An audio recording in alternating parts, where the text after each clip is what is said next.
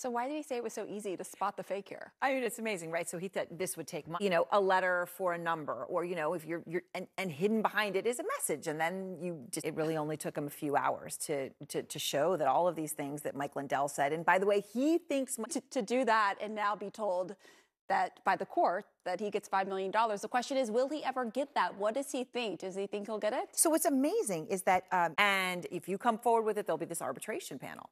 So others for a lot of money, and he just doesn't think there's going to be any money left, even though Lindell says he'll take this to court further. He just doesn't think there'll be any money left, but he doesn't care.